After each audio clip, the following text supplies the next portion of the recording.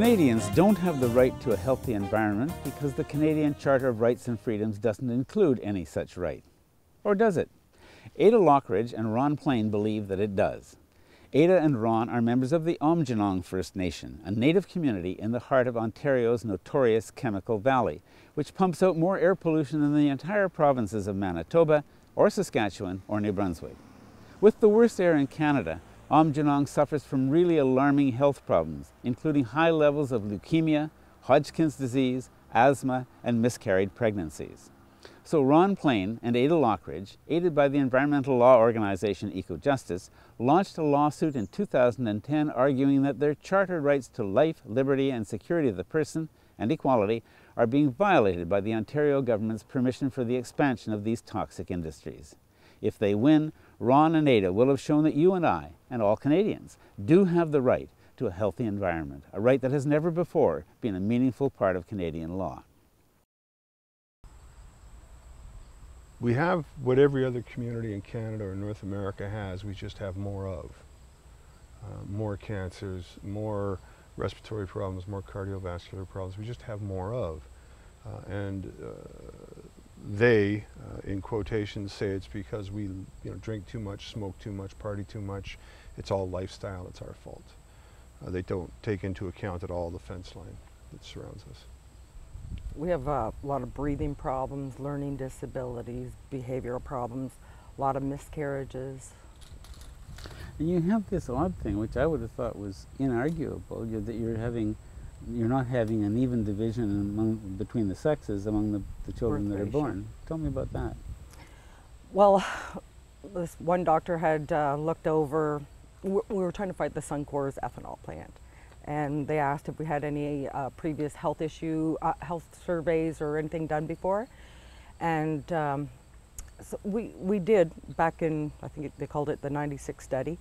But the one scientist, biologist, he had looked at it and said there was a lot of mercury that was coming up. And he asked if there was any um, birth ratio differences. And the one guy had said, well, we've um, we had three girls baseball teams to one boys. We could only fill the one.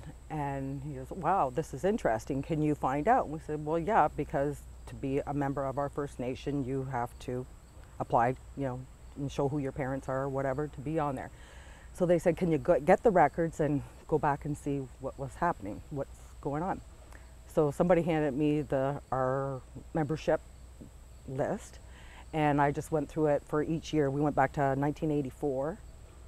Yeah, I think 84. And so I just girl boy for each year, and then I handed the the doctors and the other people the information, and um, they put it in the months or uh, what do you call that? You know, three months, every four months, see what's happening. And yeah, and I think it was in the 95 or something when it really started changing.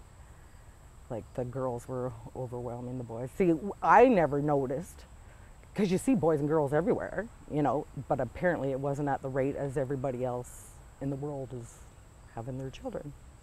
That's really that's really startling. I mean, that's that's kind of like um, that's not something that everybody else in the country has, right? That's a unique situation here. It, Yeah. It's, Chernova or something like that. Yeah, it Chernobyl. did happen, but that was a specific incident that had happened. In Chernobyl. The, I think that's where the- it was. but the they, uh, uh, so what, ha- uh, when this came out, that, that article, uh, she gave the data to people and collectively they submitted it to Environmental Health Perspectives. And the day that came out online was when our phones started to ring for interviews and studies and everything else. From all Um, over the world. It was like, oh my God, what did we start? Oh my God, what happened? Because we were the first to it. human population. Um, and and uh, after our study came out, there was some people from Asia who did a study of the Asian countries, and then they did a study of the North American countries, and then a guy from Greenland did a study around the Arctic Circle. And what they found is throughout the world this is happening, but nowhere near to our extent. And um, it's been called the, the, the first step to extinction, because if we can't uh, uh, procreate with our own, and, and not to make it into a, a, a racial statement, but um, we're going to water down our race of people to the point to where the government's going to say that you're no longer Indians. Yes, yes. And, and so to take it into a social atmosphere, it's But is, would, would this be also happening to other people in Sarnia? I mean, do we know anything about that? Because, you when, know, when we did you think of ours, then City of Sarnia didn't like that. So they did, uh, they went through the birth records at the hospital and they did all of Lambton County together so it watered everything down. Anybody then it's the north end and that, you know, that it's not wafted in by or anything, so it washed it right out. And I was very upset with them then too because they did different year slots than us. And I said, you know, if you're going to do it, you would do it the same years to match up with ours. Why would you totally, you're just purposely doing that to mess things up. And then when I had a chance to talk to Health Canada, and they said, yeah, that's exactly how you're supposed to do it. Match it year to year, if anything. County birth rates are fine was the big bold headline in the paper when they released that study, trying to refute everything that we say, to make it an Indian problem. That's been their goal all the way along. It's an Indian problem. That way they can blow it off by saying it's, it's, it's lifestyle. Um, and it's, it's our own fault that what it is. But it's not only us, there's all kinds of people throughout the valleys, South Sarnia, Corunna, all the way down to Walpole, who still get affected. We may get the waste, wafting of airs going by more frequently than anybody else, and that's the issue. Was it a one-time thing? Was it a one specific incident that happened? It happened, or is it a lifetime of all this building up in you, the cumulative effects thing? So is anybody studying that seriously at this point? the cumulative effects. Well, studying what, what, the, what, what accounts for this anomaly. I mean, Well, they know what each chemical does by itself, but they don't know what the mixture of the chemicals can do to anybody. So we haven't revisited that, uh, the birth ratio in quite a while, but I'd like to see it happen again because was because if it's okay now and if things have changed, that you have to look back nine months prior to when all these births when it was so dramatically changed, right? So you can think that there was something, one incident that happened, but other than that, we don't know. But to take it beyond that, um, there's a, a, a- new field in science called epigenetics. And in epigenetics, they've proven absolutely that it skips, it can skip a generation. So it could have been something that my father um, or my grandfather would have had, or my grandmother would have had that skipped, and now it's in me. But there is nobody that I know of right now studying uh, the impacts of Chemical Valley on Aamjiwnaang anymore uh, that relates to our, our birth ratios. Yeah, so what you're going to have is a situation where you feel quite confident that you've got a, a, a, a whole range of health effects affecting the, whole, the entire population, every age, both sexes, and so on. And, and you've got health authorities saying to you that this is just a lifestyle. Oh yeah, I've, right? I've heard Yeah? that so many times. I get so angry, and I'll say, okay, unless you're talking lifestyle choices as uh, the food we eat, the pots and pans that we cook, our cleaning products, our you know my shampoos and stuff like that. If that's what you mean, fine, but don't you dare say anything because it's our drugs or alcoholism because we were compared to another First Nation when we did the birth ratio and they're not far from here. They live the same lifestyles as us, but they're not in direct thing and they were fine. You know, they're the same size community as us and you know, so what's the difference there? Why are they different? And they're okay. So now you've been fighting this thing. I mean, I, I, it seems to me that an impartial observer would have to say there's something having to do with the fact that you have what's said to be the worst air in Canada. If it's not the worst, it's bloody close, right? Um, pretty bad. You're surrounded by all these petrochemical plants, and we know all the petrochemicals have, or uh, many of them have many different health effects. And you've been fighting this for a long time, right? And, in a lot of ways. Can we go back over a little bit of what that frustrating process has been? Because you alluded to that a little earlier. Um, I, I don't want to say that it's been really frustrating. One of the very positive things out of it is we work together really well. She has a, a, a really unique gift of sitting at a coffee table and answering all your questions and extracting questions out of you so that when she leaves your house, you are better informed. And she did that through the whole community. And I don't have that gift. My gift is working my way into places where I'm not supposed to be, like the Minister of the Environment or, uh, uh, you know, rubbing hands with, with the Prime Minister or, sitting down with Suzuki saying, well, this is what's going on. Why aren't you coming down to Aamjiwnaang? We have two different gifts that complement each other so well.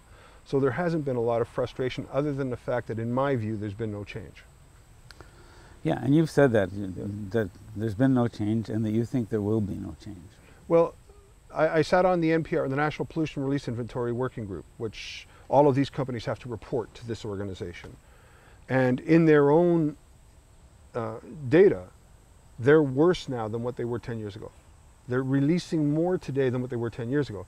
But when you read the propaganda that the media prints, they say, well, it's better today than what it was in the past. I hear it's cleaned up 90% from what it used to be. And I said, well, good God, what did I live through then? Because all my bucket samples, my air samples that I take, showing what chemicals are there and at what levels that are not accepted anywhere in the States. They were above any accepted levels in the States. And then we tried to compare what's accepted here. We found there was no, um, there was no standards for long-term health-based standards for a lot of these chemicals, benzene being one of them, and um, butadiene one and three. And then once we started uh, showing what within our air that we're capturing, then the government decided to make some standards for these chemicals. But there were none at all prior no. to that. No, I didn't know that. See, I wouldn't. I, I didn't know the laws. I figured the government and that whoever put these industries here, somebody was policing them. You know, somebody would be taking care of it. Because that's what you're taught. Yeah. You're in good hands. Well, that's what I. That's what made me so upset. That I've lived here pretty much my whole life. I went into school into Sarnia every day. I never learned none of this, and and what I did learn was very little and it'd be from the people that who actually worked in the industries that what they would share with you and that was all I ever knew. All I was ever told growing up was that when those flares are going and the big flames, that's a good sign because it's better to be burning up there than being down here in the ground. And so that never sat right with me. Oh, okay, you know.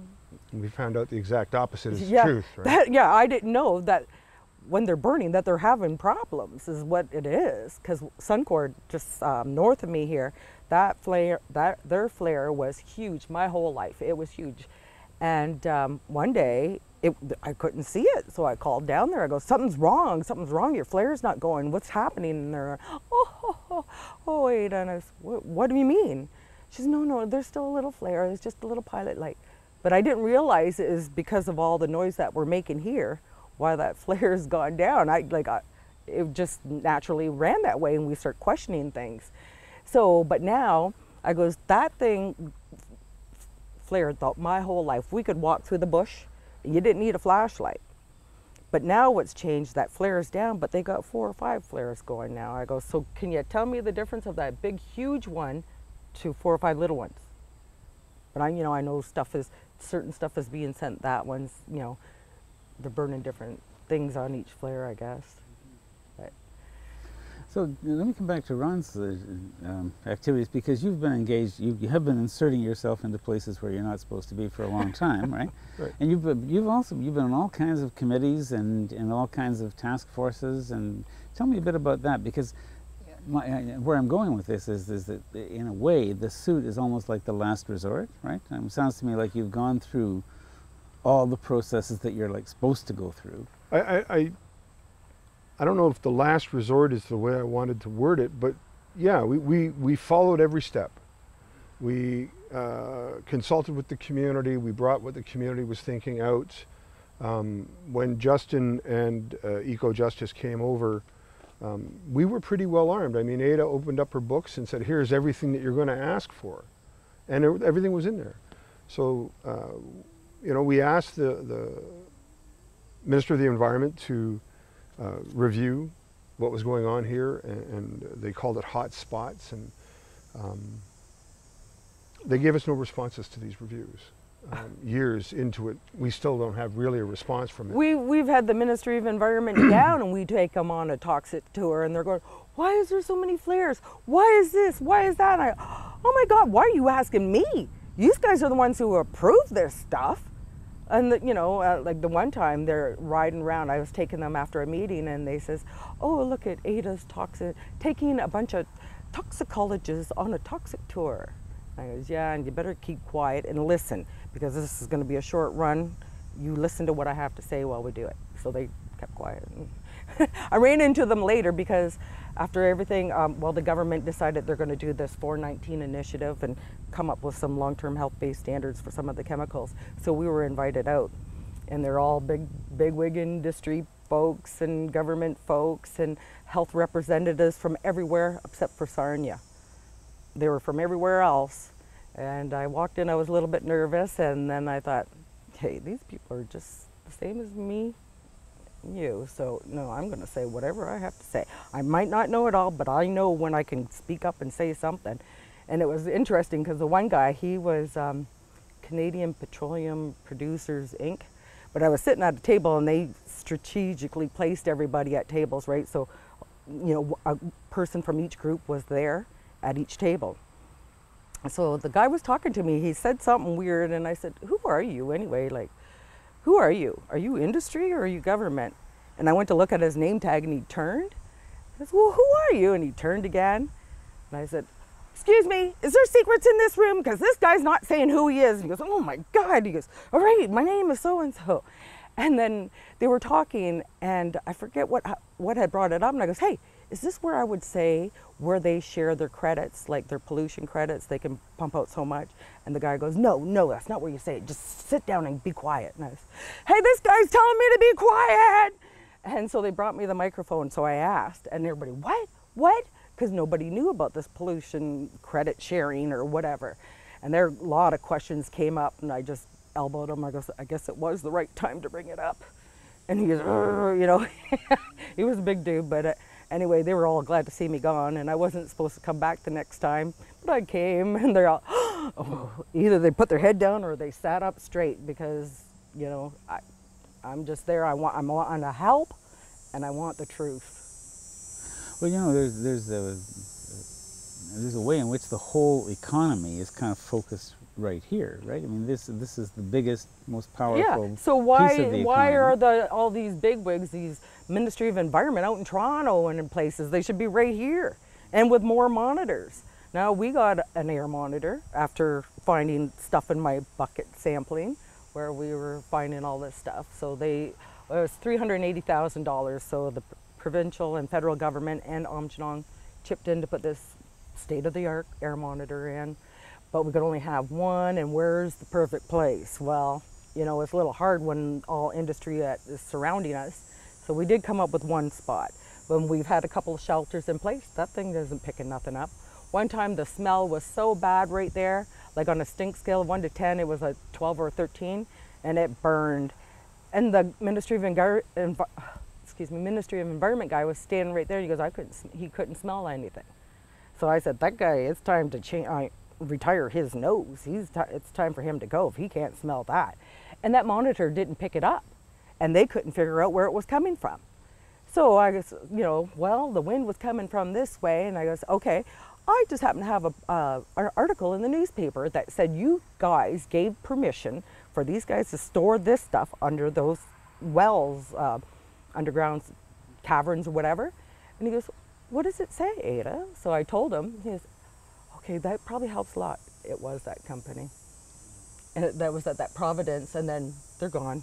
They change names here routinely. um, we'll take you to a plant in a little while that, that uh, was first called Nova Chemicals, and then it was called Ineos Nova, then it was called Ineos Styrenics, then it was called Styrolution. This is in a two-year period.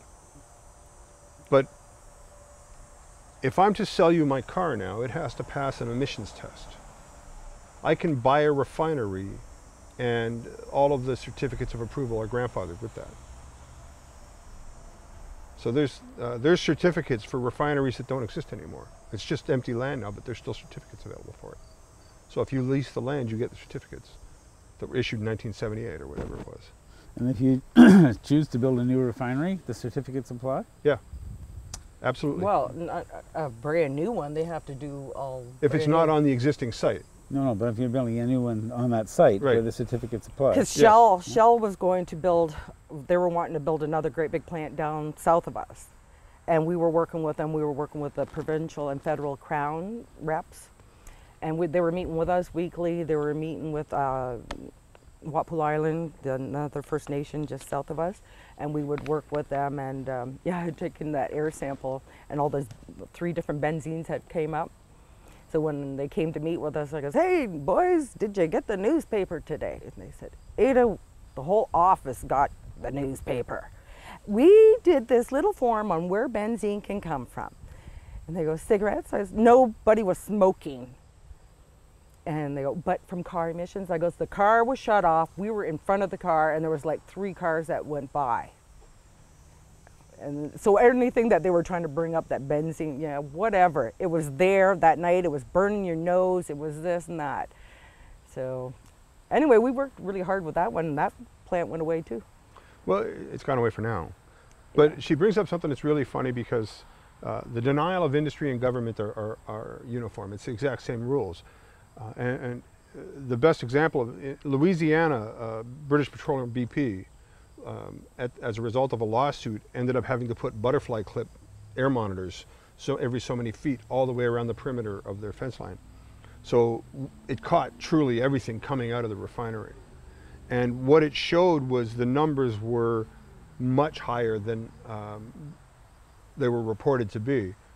And uh, I could find the paper somewhere, but uh, it was in the, the, the town newspaper that BP blamed the car traffic driving around the refinery to check out the new butterfly clips for the rise in emissions. And that's what gets printed. That's what John and Jane Q. Public hear. Shell had a hydrogen sulfide leak. And my daughter had come here in the morning, so I went out and got my bucket and I took a air sample and I called over and I said, I'm taking a sample. And they said, our monitors aren't picking up anything. And with my sample, we have to ship it to California and it costs $500 for it to be analyzed. It takes about 10 days. And yes, the hydrogen sulfide showed up there above any levels accepted in the States. And so You've got a, an incinerator here that is actually burned and buried toxic wastes that are too toxic to be uh, to be dealt with in the states. I mean, they have Mhm. to be shipped out of the states to be dealt with. Yeah, uh, it's called Clean Harbors. Um, and before that, it was uh, it had a different name. I can't think of what it was called. I want to say Liquid Cargo, but no. um, Safety-Kleen, that's it. clean Yeah, yeah. harbors, it's all. Um, I didn't realize how bad Clean Harbors was until a couple of guys came up doing a documentary on on the Clean Harbors Corporation from New Jersey, and uh, they were blown away by what they saw at the facility here. Um, it's that's the facility where I, I went to an open house, and the reporter said, "What am I doing here? This doesn't impact Aamjiwnaang, and it's 11 kilometers away from us." Um, so. The, they want to keep everybody isolated. So you're and your your Aamjiwnaang is completely surrounded by uh, by petrochemical activity, and you've got some of it that Aamjiwnaang surrounds it too. Yep. Tell me a little bit about the layout here, because I think that's hard to hard to grasp that you that the, the, the two are so interwoven like that. Um, I, I won't go into the whole history of the land transactions that allows it to be, but as we drove past the graveyard, I showed you that it is completely surrounded by industry. So if it's a donut, the graveyard's the donut hole. And you go over to Scott Road and you'll see that there's two plants there. There's an old uh, called Welland Chemicals, which is abandoned, and the Ontario Hydro facility across the road. They're the donut hole that are completely surrounded by Aamjiwnaang. And there's no logical way as to how this came to be, and it has to do with transactions that took place uh, almost a decade ago, I'm sure. Mayor Mike would, from Sarnia, would tell you, in a perfect world, we wouldn't have built so close to indus- uh, we wouldn't have built so close to a First Nations and stuff like that. He says it all the time. Yeah, yeah. But it's there, you know. Um, but they can use better technology and, uh, you know, spend some money to fix the, the problems up. Yeah, but I mean, I, what interests me in in, in a way is how did we get here? I mean, how did we get to this situation where? Oh, when where we had our Indian agents and that we were going to sell the land, that what we, uh, from what I've been told, is that we were going to sell the land so industry could come, so that there'd be jobs and bring people here to, to work. and even in economic terms, has it been good for Aamjiwnaang? Mm, I say no.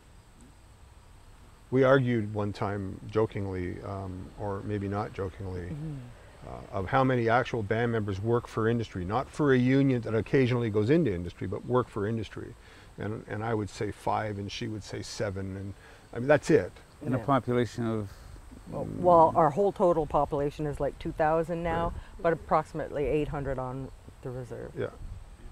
So um, So yeah, five or six full-time employees of an industry, but other than that, we do have like uh, millwrights, we have you know pipe fitters, we have you know the union guys that do But they're not jobs. exclusive to the plants. They could be working for Hydro one day, the plant the next day, the school board the next day. Um, in the 50s and 60s, there was a negotiated uh, Aboriginal hiring policy with the plants at Chemical Valley. And at the time, um, quite a few of our members got work underneath that. Uh, and in the 70s and 80s, it stopped. And, and we asked in a public meeting why it stopped, and there was no response other than we don't exercise those policies in our Corunna facility. That's what the general manager of Shell said.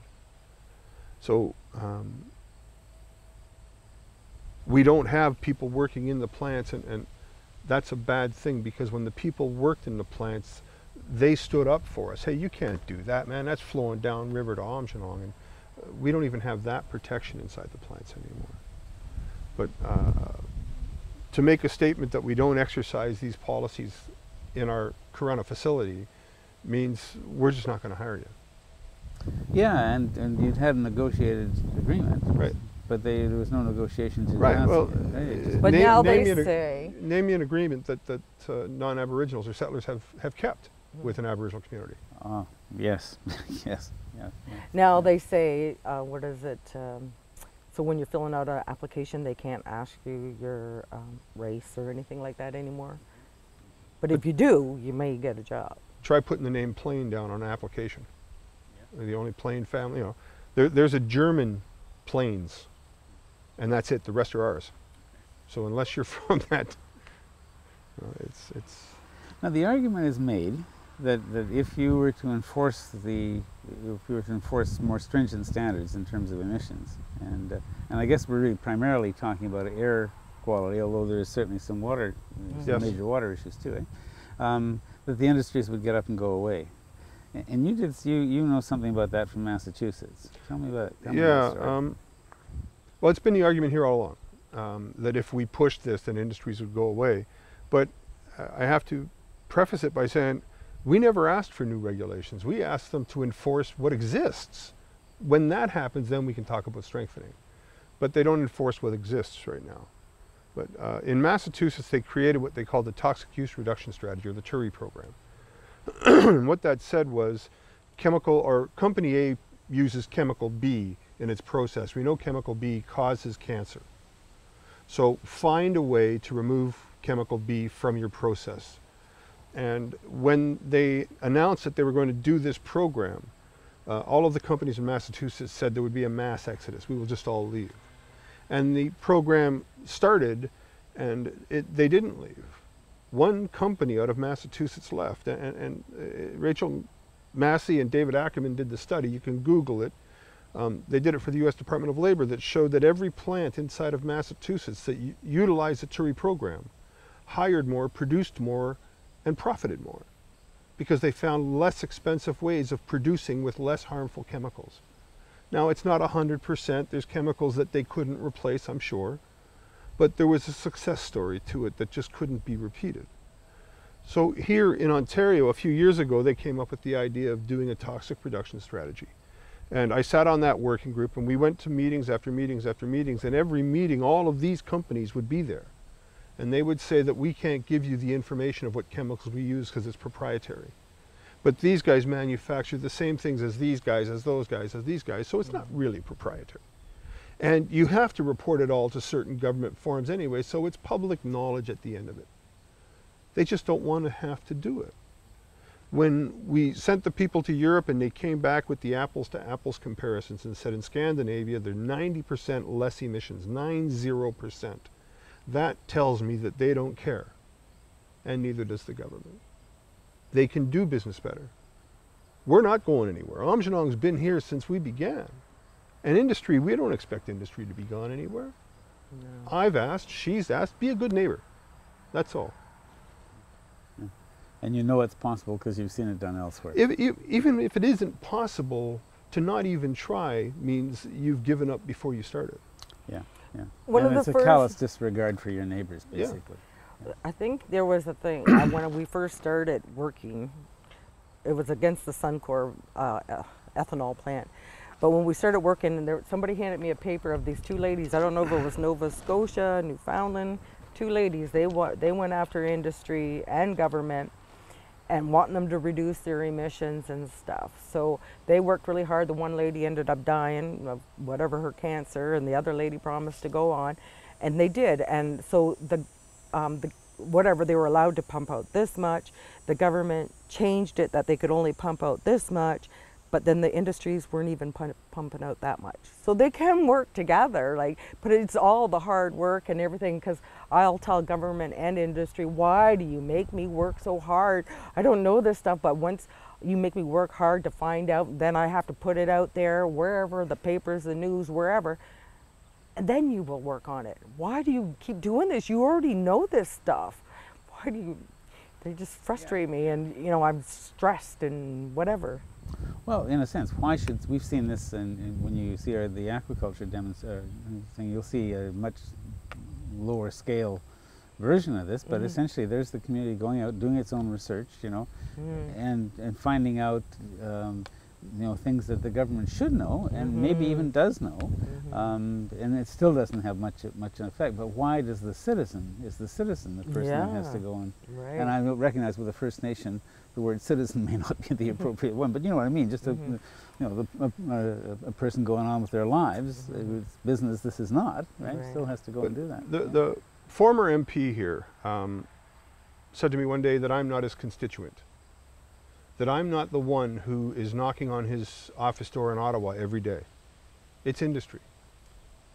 Now, kudos for honesty, but you're an asshole. you know, we still are underneath your umbrella here. And it's not just we. When, when we say we, when we go to town, people buy us a coffee. Some people call us names. Some people shake our hands. You know, there, there's, a- there's a Nobody's cross- ever done that to my face. they might do it to him, but they're usually pretty good. They're always thanking me and thanking me on behalf of their whole community and stuff like that. So well, I was thinking so you've got to have some neighbors Oh, who are very grateful Oh, for they the, oh, they call me yeah. the, if something's going on. They call me to find out what's going on because they can't get the information. They have to apply to the Freedom of Information thing, and all I got to do is call up, tell me to ask, tell me what I got to ask, and I'll ask. Mm. And who you do you call the plant? I call them, yeah, the plants, the MOE, whoever. I call them all. I like uh, when I go to these meetings, those bigwigs are handing me their cards, and oh wait, oh, well, I'll call them. Hey, I met you. Um, you said you could help me, so I'm wondering, and they'll set up meetings or whatever. And they'll actually answer the Yeah, questions. because I'll, I'll say, you know, I'm tired of talking to the little people. I want to talk to the boss, you know, because I'm not getting anywhere with those other people. But and then if they give me, you know, sass or you know, like there was an incident here. We were shelter in place, and our emergency response planner. Explain what shelter in place means, please. Oh, shelter in place. Well, okay, so there's something happening in the valley. So you're supposed to go indoors, shut your doors, windows, and listen to the radio to hear what's going on.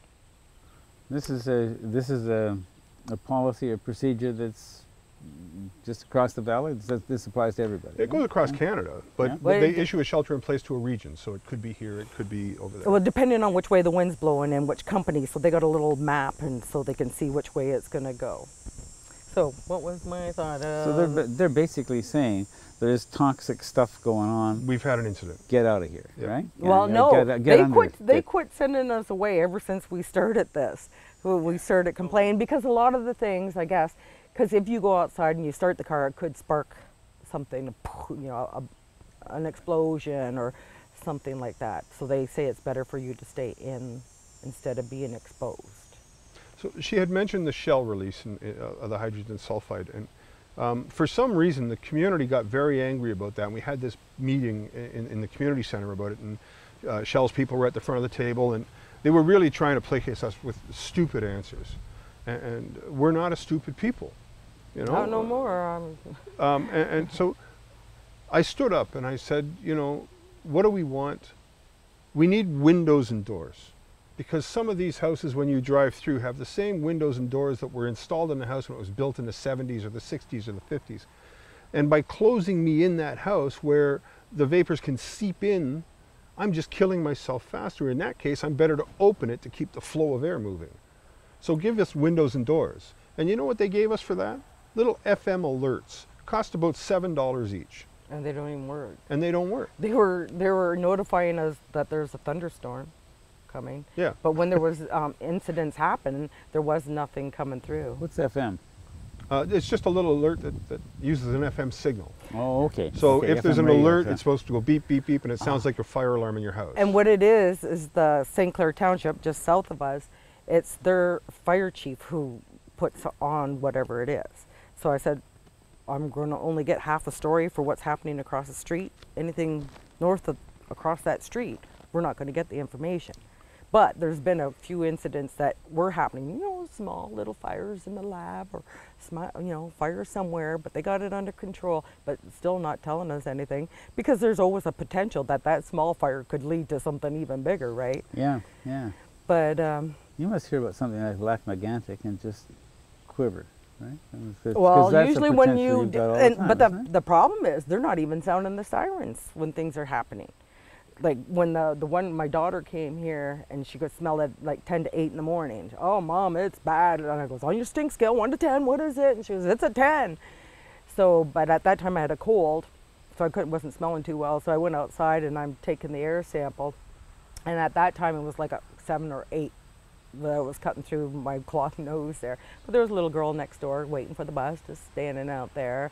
I made my daughter run out, you know, when her bus came, plug your nose and just go, run, and whatever. But you're, you're touching on something that's uh, in, uh, skirting an issue, and okay, all of the health things are the health things, and they are what they are. And, and where we are is where we are, and what we've done to the community has opened their eyes. And, and really, before we started doing this, everybody's eyes were closed. Um, you don't have to be an educated person to come to this community and see that something's wrong. But now that you know, what if you don't have the financial resources to leave here and your children are impacted? You know that. How, that now, that's eating at you. And you have to sit here when an alarm goes off and nothing follows it. There's no nothing on the radio. We don't have television cameras here. We don't have TV stations here. The nearest station's in Windsor, London, or Detroit.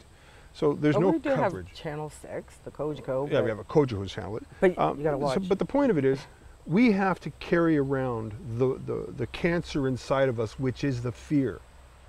Living in fear every single freaking day. Do I let my kids go out and play? When they had the really big release in, in, in January, hydrogen sulfide, animals died.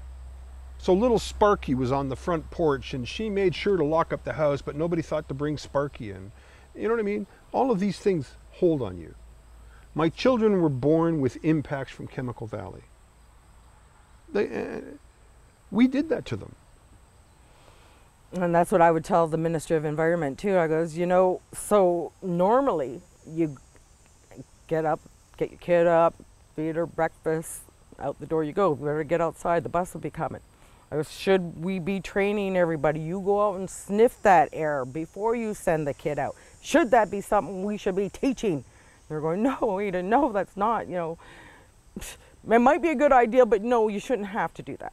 But not everything would be smelled either, would it? I mean, Oh, it- right. Because yeah. the one time we went to the cemetery with our bucket, the air sample thing, the bucket brigade, and we were just taking a background sample at the cemetery, and there was four or five different chemicals that were found that weren't accepted in the states, anywhere in the states. And I wow, you know, that's really scary because, you know, I go back there to visit my loved ones all the time and I plant flowers and stuff like that. So I'm breathing this stuff in without even knowing.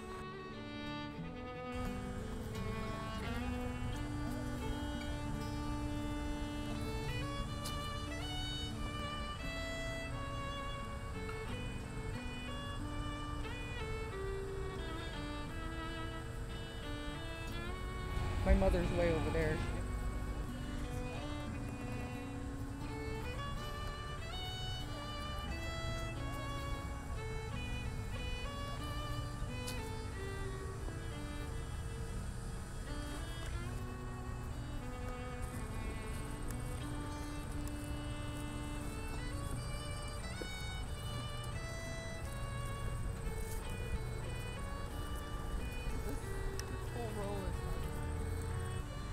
My dad, Clarence Rogers, he was for the U.S. Army, World War II.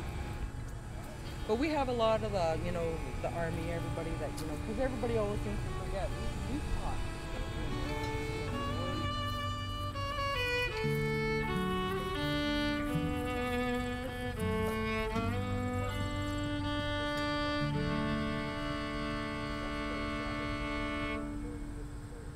Take you back a minute, Ron, to just what you said. Am I, do I understand this right? That that the air quality was was so bad that, that you basically lock everybody up inside the house, don't go outside, and your pets who are left outside die? Well, Is that what you uh, told me? Yeah. I mean, never mind the pets. Well, no, but the, Uh, if the pet no, no, no, dies, but your little baby because could too. We right? have, uh, hypothetically, we have a chief and council that oversees what happens to us, and they care about their their their, their citizens. Um, we have deer, we have duck, we have fowl, we have raccoons, we have beavers, we have all of these Stuff we things eat. around us that that don't have somebody speaking for them, and they were out there for it.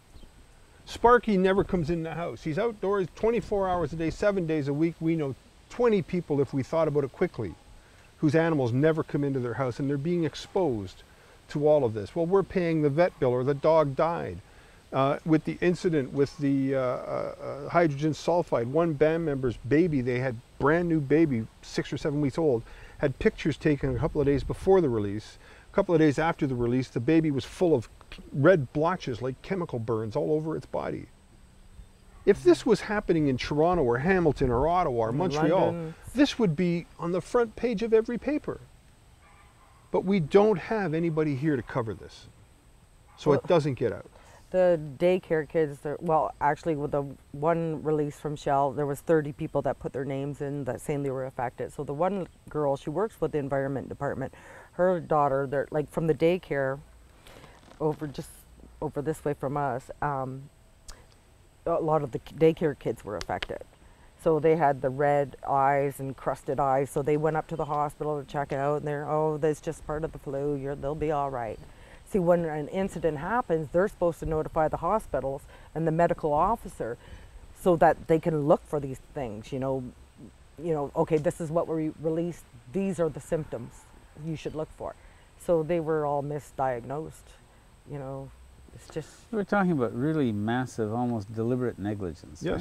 right? And, Oh, and- yeah. and on every, on almost every scale, Yes. almost every official We had a, a- I mean, we had a benzene release come out of Nova Chemical when it's now called Styrolution. At the time, it was Nova Chemical, and it was at that time the largest benzene release in Canada, and, and it started early in the morning.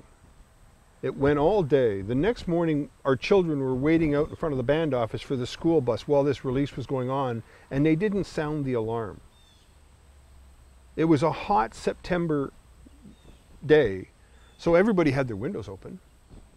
And all this benzene's rolling on through, and the next thing you know, they're telling the, the, the people at the band office they can't go to work, and they bring in sniffers, and they find in the band office it's way above the acceptable levels. They find everywhere around that end of Aamjiwnaang it's way above acceptable levels.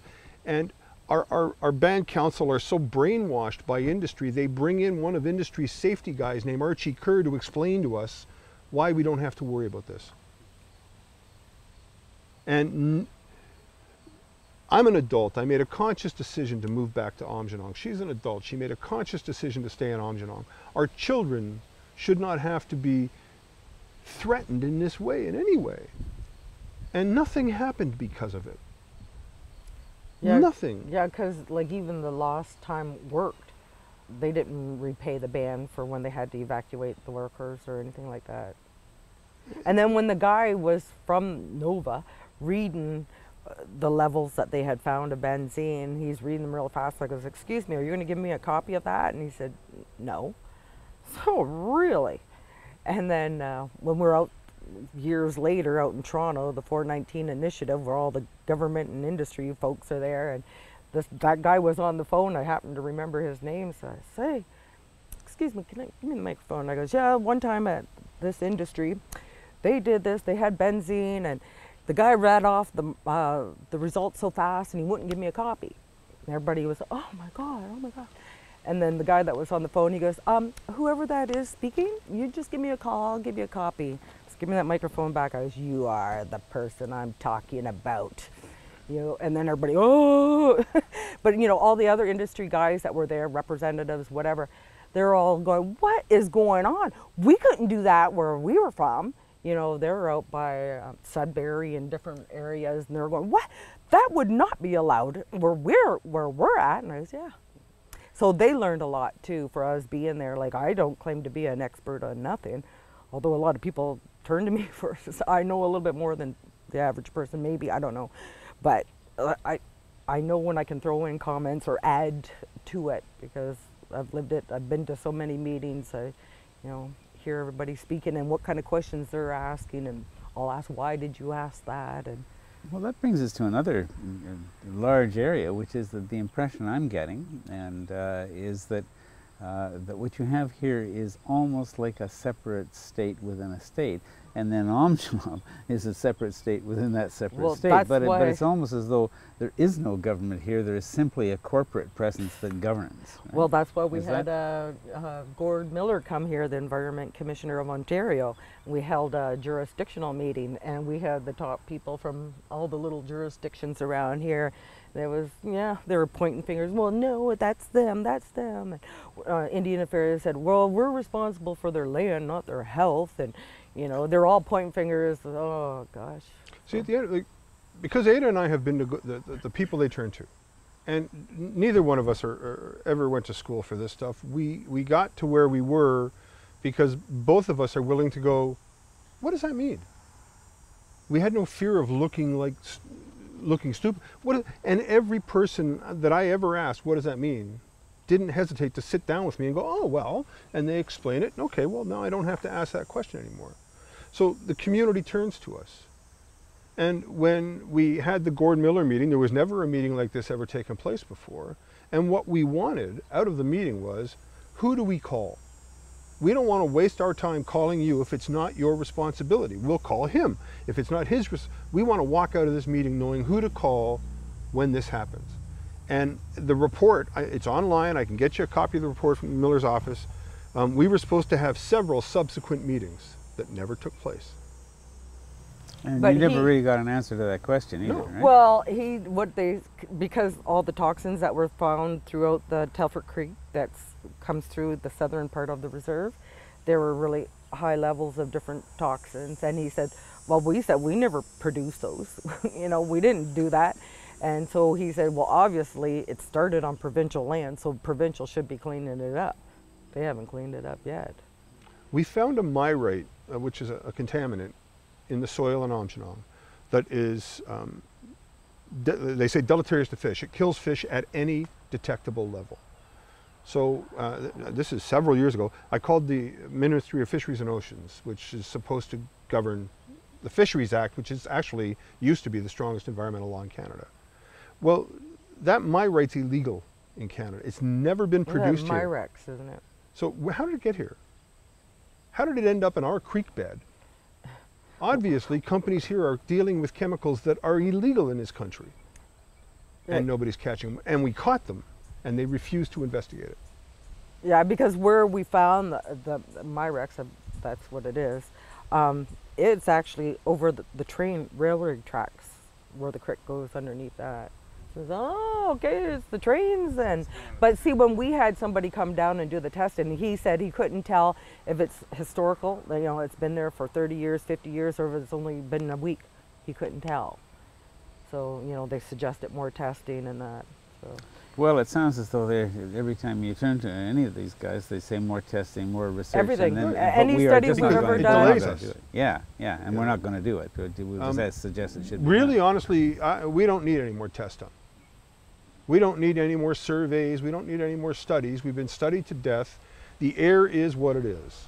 The World Health Organization said this is the most contaminated airshed, which has never been used in the term. It's been a watershed, never called an airshed. This is the most contaminated airshed in Canada. And they measured that off particulate fine and ultra. So that, that's pretty nasty. So take me now to the to the suit. How does how does this how does the suit come out? Uh, uh, you, you, you've obviously been trying many many avenues. To We, yeah, get we tried writing letters. yeah. We tried all the other steps without going to court, without you know. So what takes you to the point of, of doing the suit, and how, and how does that happen? Suncor was given permission to build a new stack. And it was to be so high because the solution to pollution is dilution. So the higher up it is, the larger uh, disbursement uh, it is. They built the stack one third lower than what the certificate called for. So the, the carbon, carbon dioxide coming out of it, hmm. is it dioxide? Anyways, Diesel desulfurization yeah. unit anyway. so what came out of it, because they built it a third lower, just rains on top of Aamjiwnaang. It doesn't hit non-native population in any way. So the province let them do this. They let them build it lower than the stack was required by, by their own certificates. And um, so much so that after a couple of years when we raised this and raised this and, and, and applied to the minister for reviews, um, the ministry made this big media hoopla about fining Suncor for doing this wrong. And they were to cut production down in the plant by so much so that they would hit the approved levels. Um, so there's the acknowledgement that the plant was, had built this wrong.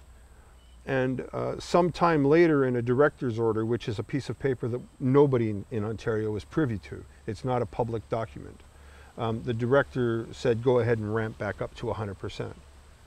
So they acknowledged the harm to human health by having the stack so low, the emissions so high, and then sometime later in a secret document, they tell them to go ahead and ramp it back up. So they acknowledged the harm to human health and then allowed it to continue.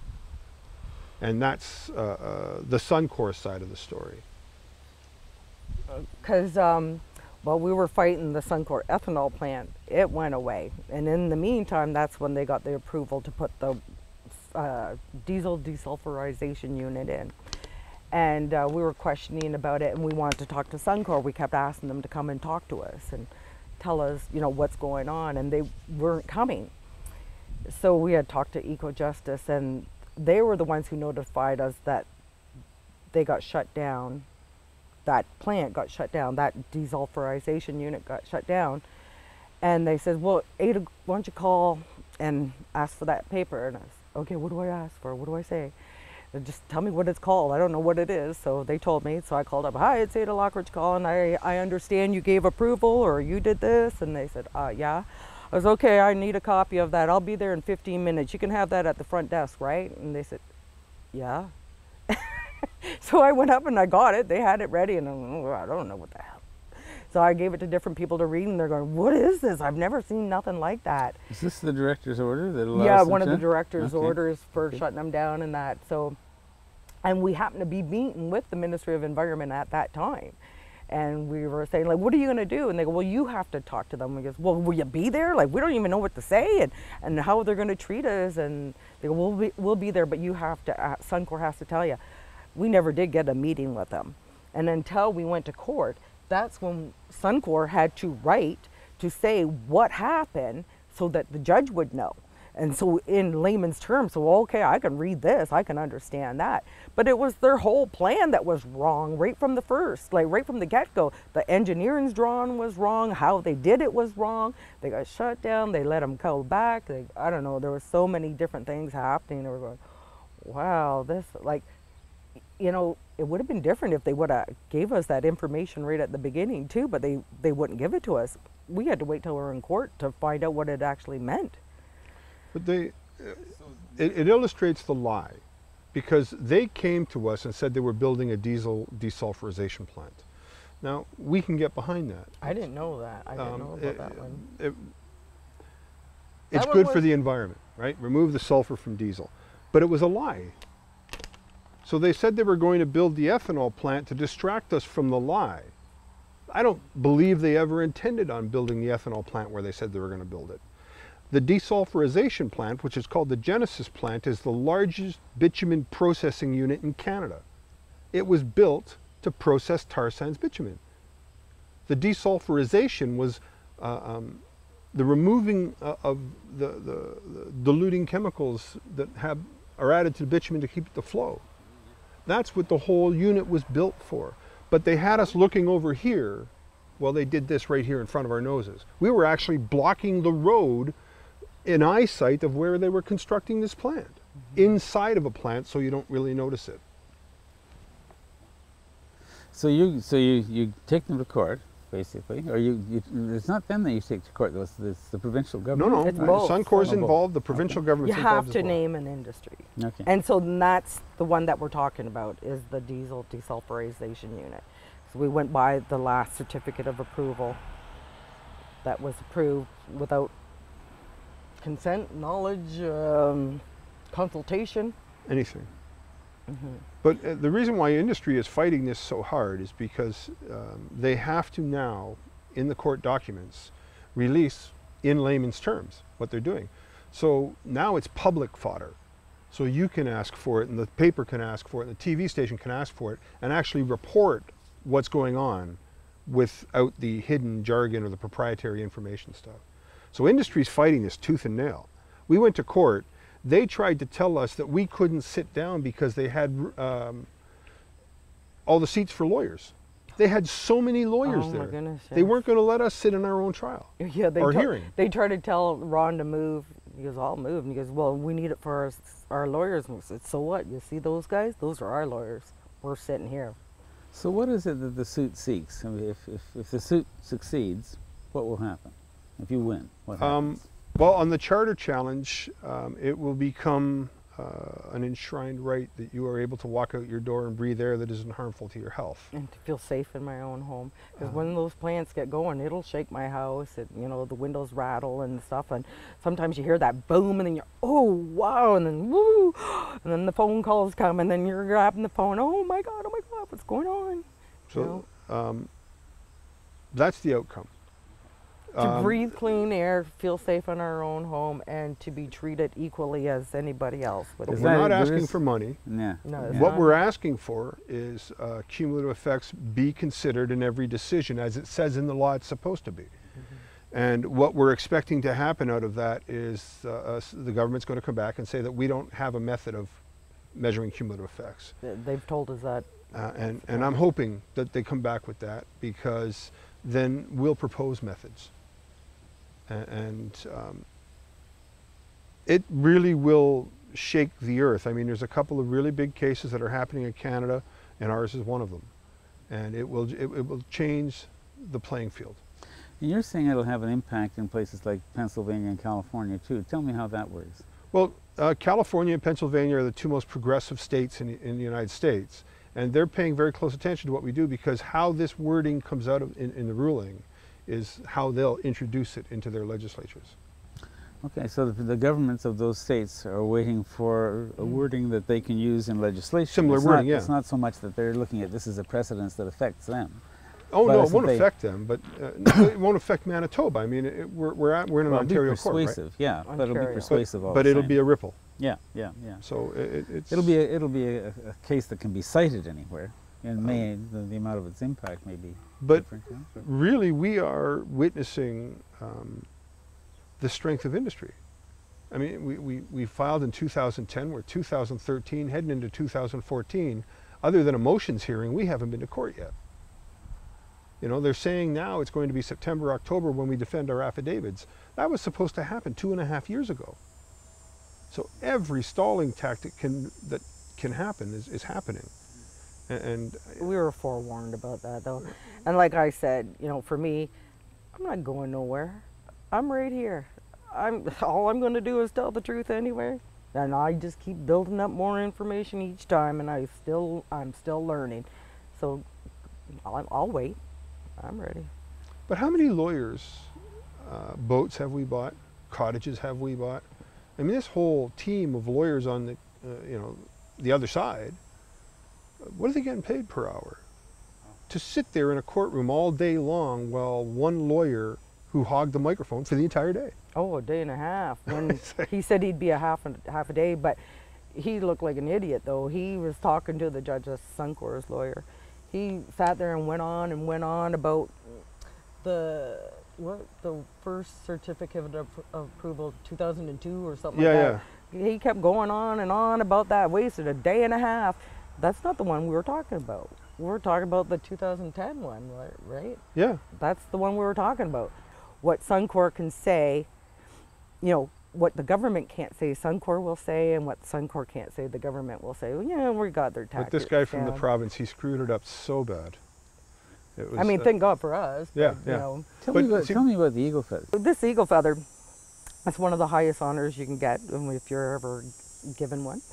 And um, when we were fighting the Suncor ethanol plant, I didn't know. I, I just do what I do because I feel it's in here in my heart that I have to do it. So I did it. And there was a group of us after the Suncor plant went away. They had a powwow. Um, we have a powwow every year. And the family, the Plain family, decided to honor people with the eagle feather. So we got it and uh, that was my first feather I ever got. But the scary thing is that when we did our dance and I was hugging an elder at the end, and my feather it started twitching. It started right in my hand. I was, oh my god! Well, I'm holding the elder, and I, oh, I almost knocked him down, but I did it. but I, and it went down to the ground, and I started crying. Oh my god! What does that mean? What does it mean? And people were telling me different things, and they were saying, oh, they don't have to give you that feather back. I was, oh no! So the guy had to talk to me, the guy who gave us the feathers, and he said, now hang on to that. Don't let that go. And uh, because they said when I get all stressed out and that, that's my medicine. You hold that and, you know, you speak to it, whatever. Calms you down. And I just looked at it as my job's not done. I have to keep going. This, it's just that Suncor thing, that, that ethanol plant, that wasn't it. There, it's further. I got to go further. And I kept doing it. And I, and I don't know why, but something guides me. Something's telling me what to do and what not to do. Some things I won't get involved in. So uh, it just guides me along, and uh, Calms you and gives you a bit of a compass. Yeah, and fair? yeah, it's that- is that right? it's a healing. I don't know. It feels good, and I, and I just I don't know why I did this, and then the court case come along, and I was going, wow, maybe that's what I'm supposed to be doing. I you know maybe that's what it was all about in the first place. I don't know, but I'll just keep going with it. Yeah, yeah. Yeah. So yeah, I, 'cause I noticed you came with it when we started here, and I thought, no, this is obviously an important thing to have with Yeah. you for this event. And uh, Yeah, I've never earned yeah. one before, so I, I That's fabulous. That's fabulous. Well, I interrupted you. You were about. to Well, say- yeah, I was just um, like in that hearing, uh, the other side um, each said that this is going to the Supreme Court. There should be a public inquiry as to what's going on, and that something is definitely wrong in Aamjiwnaang. That's their lawyers making these statements. all three of them. The judge said it. Suncor lawyer, government lawyer. They all said, "Oh, there is something definitely going on down there at Aamjiwnaang or in Sarnia area." But what was this the right court for it to be in? So it came back, the judge, yes, agreed that yes, this is the right court because they were saying we should have went here, we should have did this, we should have did that. But what our lawyer said, we couldn't if you're keeping everything a secret. You know, it has to be out there for us to know what to do, but you never did that. Finally, um, uh, and this has been fascinating, and, and uh, uh, well, I guess not, not quite finally. Two other things. One of them is, uh, it's my understanding that when people like us come with cameras and so on and so forth, it's as though we are no longer in Canada. It's as though it's as though we've entered another country, where plant security is actually the is actually the government. Is that is that correct? They conduct themselves like they're the authority of the police. They will pull you over. Um, they will harass you. They've tried harassing us once or twice, but uh, uh, not often. When I was Oh. with him, when I'm in my vehicle, they don't bother me. I'll just give a wave, or else I'll pull over. What are you doing now? And stuff like that. They, we're known, for sure. Yeah, we're, yeah, we're very well known for it. But uh, the, the best story of it all was um, when we had the lawyers from Ecojustice with, and we were doing a tour around, and we pulled up to the Clean Harbors Gate. And the reason why I take you to Clean Harbors, if you had time, I would take you, is they have a sign that says "No hazardous waste beyond this spot." And in the background of that sign, perfectly placed, is the stack with all of the emissions coming out from the incinerator. So no hazardous waste beyond this spot. I don't know if that means coming in or going out, but it's a good picture. And we were sitting there, and, uh, uh, Justin got out of the van, and a couple of other the guests got out of the van, and they were taking the pictures. And um, they got back in the van when an unmarked vehicle, a guy with no marking on him at all that said he represented anybody, pulled over beside the van and said, uh, "What do you think you're doing?" And Justin just looked at him and said, "Fuck off! Go on, Ron." And away we go. Because if you give them the authority, they'll have it. You know, they, they he we stepped were, in front we of the were van. at the remember? other thing there, and they come up to us too, in front of Lanxess or whatever. When Justin was out there taking pictures, and Yep. they came up. But uh, They, this is public property. You can't tell anybody. Like our, uh, the guy who's a photographer of Sarnia Observer, our newspaper, forever. He was out there taking pictures of Lanxess new sign, and they tried to get harass him for being on the other side of the road and taking a picture. And this is a this is pretty astonishing. But you know, when Suncor, when uh, we were fighting the ethanol plant, and we were, you know, kind of parked down there, camped down there, we weren't letting no cars go through. And then Suncor come to chief and council, and they thought um, that you know they didn't know what we were going to do. You know, something could explode. I goes, do you really think we're into killing ourselves? We don't even know what you have over there. Why would we try to do anything to that? We're not into killing ourselves. Get that through your head now, but finally, let, me just turn to the idle no more thing, which is, uh, and one of the things I guess that's striking to me um, is that the idle no more protests across the country were essentially designed to draw attention to the gutting of the environmental regulations and the and the impact on First Nations without any consultation. And like, like, there were some big general grievances that applied across the country, but yours was quite specific as well, wasn't it? You had a you, you know, you, you, you were not just blocking a railway, you were blocking that railway for certain specific reasons. But right? um, yes and no. The, uh, uh, Idle No More from the, the Theresa Spence angle was based on uh, treaty infractions. Um, Attawapiskat being Attawapiskat, and I don't want to go into the whole issue of Attawapiskat, but uh, every community has had horrendous treaty infractions that, that result in this. Uh, you know, be fine about it. But um, a few years ago, the Assembly of First Nations asked us to do uh, roving blockades, block railroad tracks, highways, miscellaneous uh, ways of inconvenience. And that was when Shawn Brant and Tyendinaga blocked the line that went from Toronto to Montreal, and that made all the press because it was the big line. And he was able to block that track for 24 hours, and then they left the tracks. Well, that same day, we, uh, the drum that I sing on and myself went to the tracks on Tashmoo Avenue, the, the, the, same tracks we blocked this time. And we found out later in the day that uh, um, an injunction was already issued to get us removed from that tracks. But we took it down at five o'clock in the afternoon for whatever the reason we decided to do that. And uh, it was the chief who pulled over and he said, you know, like an injunction was issued and the next time we're going to do this, we should block the tracks on Williams Drive because there's no uh, permit for them to cross those that road. This time, um, the chief and, and, a counselor and some other band members uh, went and blocked the tracks a little in between Williams Drive and Tashmoo Avenue. And they said that the, they put up the blockade uh, in support of Chief Spence, but uh, more as a way of awaiting the, the arrival back of our band members. We had sent buses to Ottawa on the 21st, and uh, if you remember, the 21st of December was a horrible day. There was sleet and, and, ice, and it was just a. So they said they would leave the blockade up until the buses got back. And the chief and the counselors, uh, they left, and the people that were there decided to keep it up. So the next morning at 10:30 uh, in the morning, CN police showed up and, and dropped off an injunction written by a judge named David Brown, and uh, um, stating that they had to uh, leave this part of the tracks, mile marker, whatever the mile marker was. And I had shown up and I said, uh, well, okay, well, we'll move it from here to the next, where I know they don't have a permit.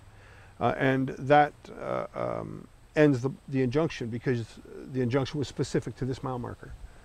Uh, and uh, CN came back on the 27th of December with a new injunction saying that all of that line had to be uh, cleared. That line didn't serve anybody. It, and, and, that was the, the, the, point of it. When we blocked it on Tashmoo Avenue, it served only the, the petrochemical industry. So they let Shawn Brant block the busiest passenger rail line in Canada for 24 hours. We couldn't block a single line that feeds petrochemical industries for a day. When we did the second one, Judge David Brown was a former lawyer for CN. He, in fact, had served as a witness for CN in U.S. hearings. And he was the judge who wrote an injunction to have me taken off the tracks. And he didn't declare a conflict of interest. We didn't leave the tracks on the 27th of December. The Sarnia Police, the OPP, the RCMP all followed the Ipperwash inquiries to the letter. They brought us coffee, they came and socialized with us. There was never uh, an authoritative thing about it. The RCMP never showed up but they sent a, a, liaise through saying we're only here if violence is to break out. We're, you know, and it was a very peaceful, so that wasn't an issue. Um, because of that, David Brown uh, charged, or CN charged me civilly with contempt of, of a court order, and uh, they brought in the Sarnia chief of police for not obeying or enforcing the court order. And And- wasn't Mayor Mike Nope. in that? No. So uh, I got served by Facebook on January 1st at uh, 3.30 in the afternoon that I had to appear the next morning in court. I called my lawyers and my lawyers said you don't have to appear. Um, and the judge stated that if I didn't appear, I would have been sent to jail. It is legal to serve you by Facebook in Ontario. Um, I never heard of that. yeah, no, nobody It's a new law. It's a new law. So uh, i i I, showed up. I, between 3.30 on January 1st and 10 o'clock in the morning on January 2nd, I photocopied three file boxes full of files that showed that the tracks were there illegal. And they wouldn't let me submit them as evidence in court. CN at no time ever in all of this ever said that we have a right Must of way. be 1230. CN never said, never had to prove that they had right of way to be on our property. They just had to say that they did. And an injunction was issued. The judge said that the blockade's coming down by six o'clock that night or I'm going to jail and the chief of police of Sarnia is going to jail. And we agreed to take down, uh, we got the tracks cleared. Um, I went back to court on the 4th of January expecting everything to be dropped. And uh, CN told uh, the judge to me that if I gave them $5,000 there, they would drop it. Um, and I said no. And the judge said that if I don't drop it, I'm going to face 180 to 200,000 dollars in fines. Ron is, not Aamjiwnaang. Ron is. And I said, well, why am I the only one here? Where's my my chief, who's named on the injunction? Where's the you know lo- uh, uh, counsel who's named on the injunction? I'm not named on the injunction, but I'm here. And CN said, in an effort to maintain a good working relationship with Aamjiwnaang, they decided not to pursue them in this. Mayor Mike Bradley said later, in a meeting he was at, Aamjiwnaang struck a deal with CN. I'm left out in the cold. Uh, uh, the head of one of the national unions in Canada was, uh, uh, on my behalf, reached out to CN to say, what are you doing? And CN said, if the chief of Aamjiwnaang and I and this individual were to come to a meeting with CN and this individual would serve as a mediator, they would drop all legal and Aamjiwnaang wouldn't come to that meeting. So I got found in contempt of a court order. I'm the only person charged and uh, convicted of uh, uh, a charge as a result of idle no more and they gave me a sixteen thousand five hundred sixteen thousand five hundred dollars and eighty seven cents is my, my fine. That's a test every Monday at 1230. You're not supposed But to tell normally, them. but, but normally, yeah. Usually, when you hear it, you'll think, "What day is it? What time is it?" But that's if you're outside, that's to warn you to get inside. So if you're inside and you didn't hear that and you come outside, you're on your own, because they only sound for a little while. And we didn't even arrange this. Mm. it just happened to be Uh, our. well, we, be I, you're usually much closer to the siren at this time. But so so that's the idle no more thing. And, and right now where we are is I have four lawyers representing me, um, and they are really good lawyers. They made me a deal I couldn't refuse. Whatever we fundraise is their fun, is their fee. Um, and the only caveat on me is all hard costs. So when they came here for court, I had to pay for their mileage and I had to pay for their hotel and I had to cover their food. So if they needed to bring in an articling student, I would have to pay for that. Um, so we raised uh, uh, a fair bit of money there and it's still incoming. And then after the fine was levied, uh, we began a series of campaigns to pay the fine off. And we'll have the fine paid off by the end of September, absolutely. And when the fine's paid off, we're going to hold a celebration. We're going to stand up and look at both Aamjiwnaang, the provincial government, the federal government, and CN and say, we're still here. You know, you didn't hurt us, you didn't scare us, because that was the purpose of it, to scare everybody else here from doing that.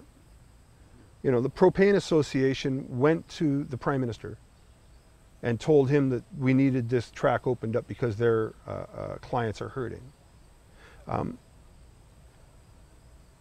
we hurt them. We made a statement and we hurt them. And, and the member of parliament from Guelph came here and said that these tracks, what carries on these tracks, would not be allowed in any other community, First Nation or not, in Canada. But they run, what's the closest house to the tracks? 50 feet maybe? If that. CN is the worst polluter in, in Chemical Valley. One of the trains, the train closest to my house, I don't know, is that CSX? Yeah. It went off the track. And, you know, people are sending me pictures. Hello, shit, it is off the track, and there's nobody even there, and da da da da.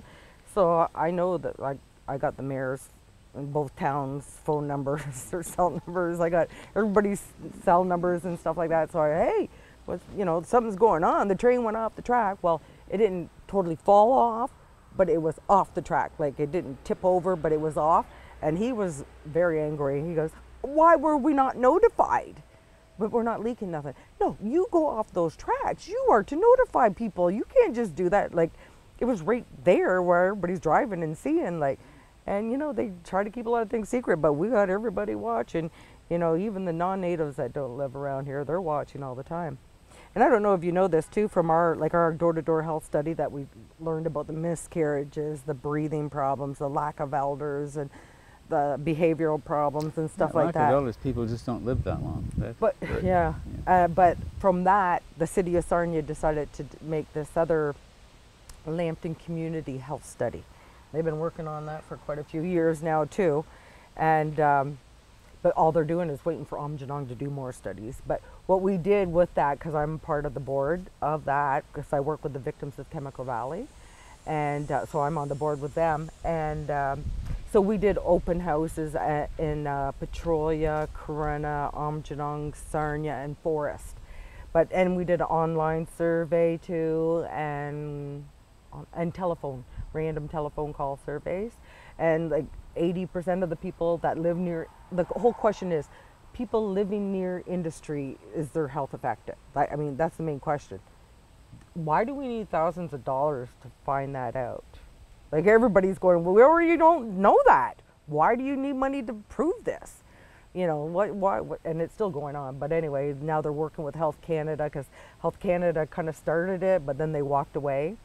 So they're asking Health Canada for money. Yeah, because that Health Canada guy, he came. Like they kept saying they're doing this in-kind service. So we goes, what's your in-kind? Nobody's even met you. You know, who are you?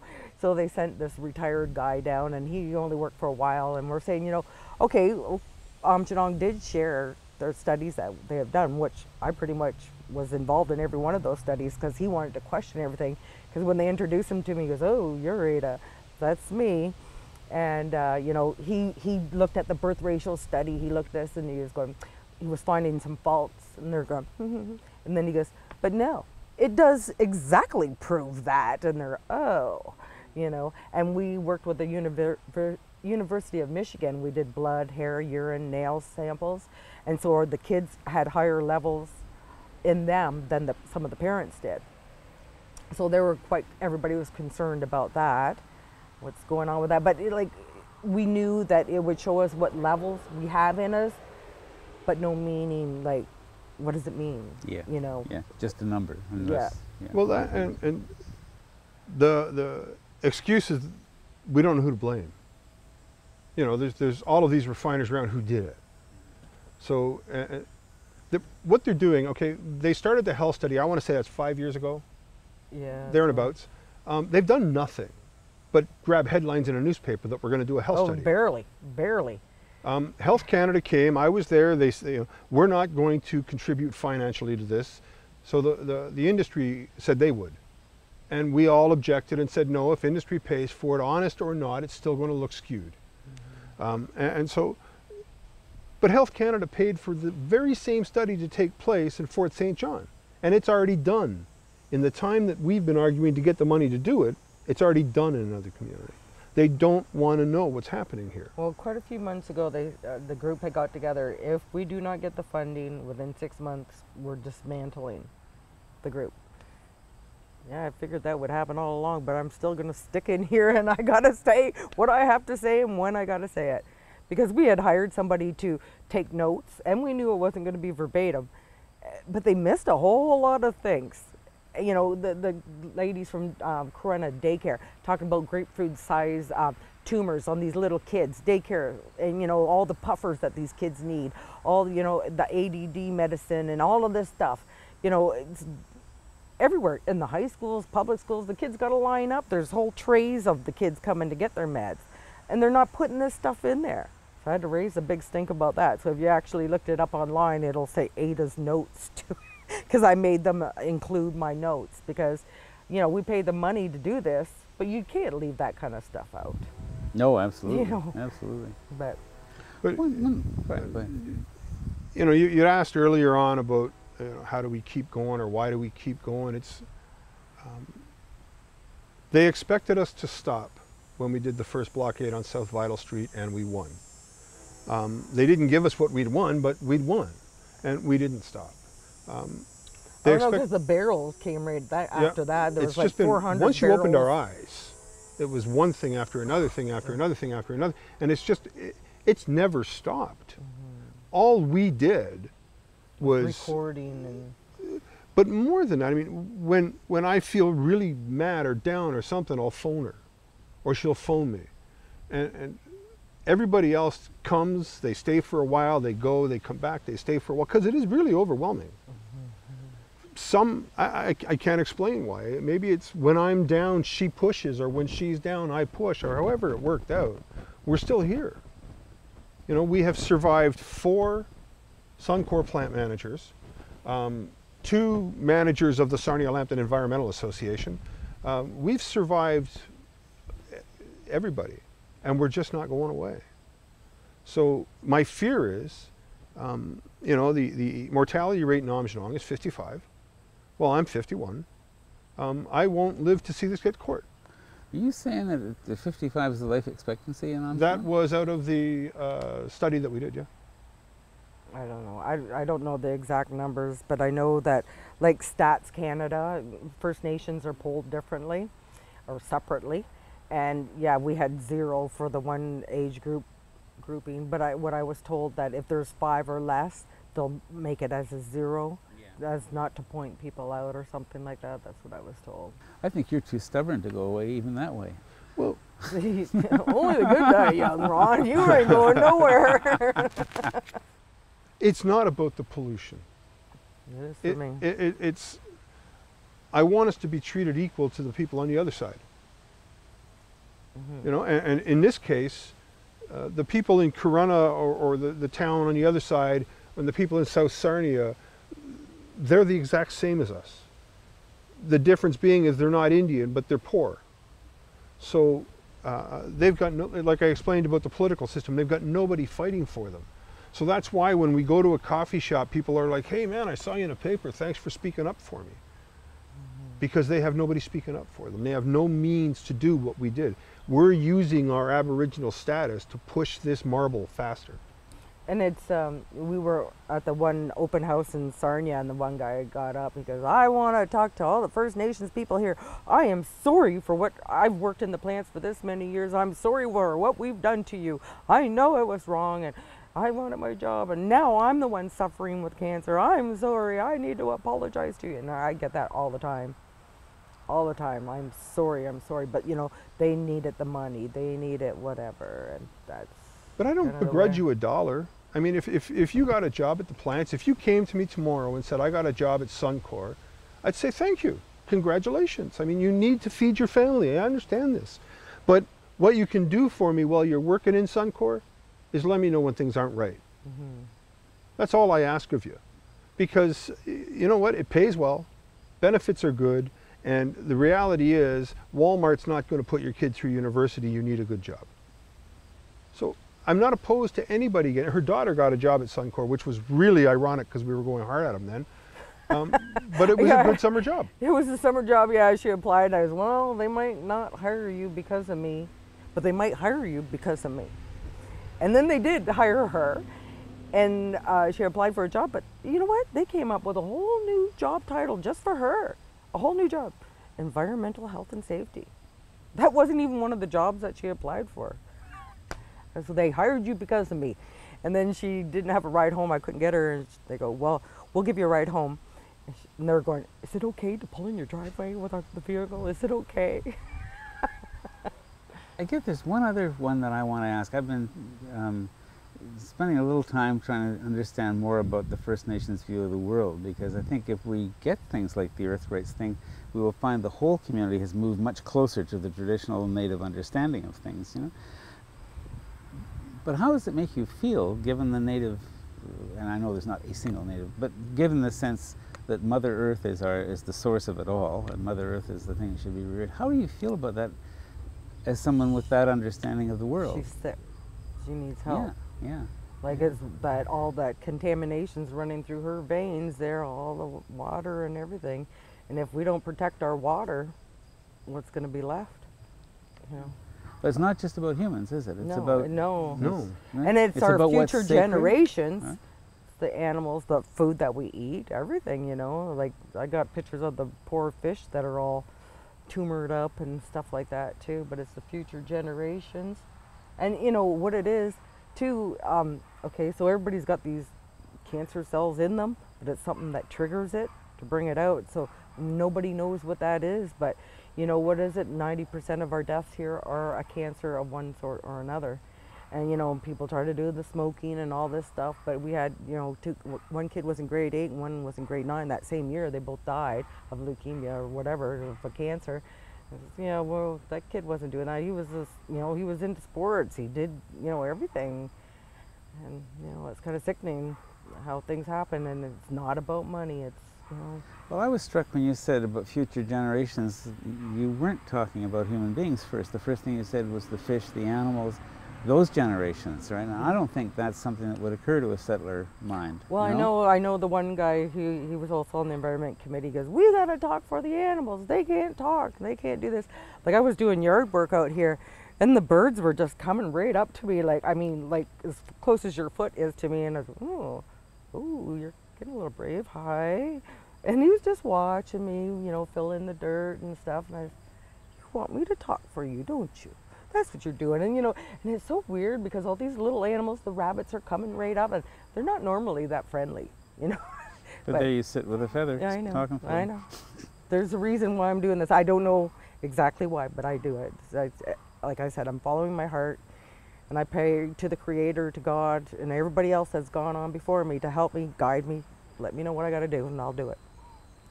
I, I didn't know what the boreal forest was. You know what the boreal forest is? Most people have no idea what it is, but I, I ended up on this thing called the Boreal Learning Network. And uh, it taught me what the boreal forest was. It's this ring of forest that goes right around the- top of the earth. Uh, and it's kind of like a halo. And um, if you pay any attention to astronomy, the earth expands and contracts like this. And um, it does it four times a year. And it, it expands and contracts like this. And we referred to the boreal as the lungs of Mother Earth. And so the teaching goes we breathe a finite amount of time in an average person's life. And I don't know what that number is. I'm sure we could Google it. But the earth will breathe that many times as well. Only it is a pulse. So that's the expansion and contraction of it.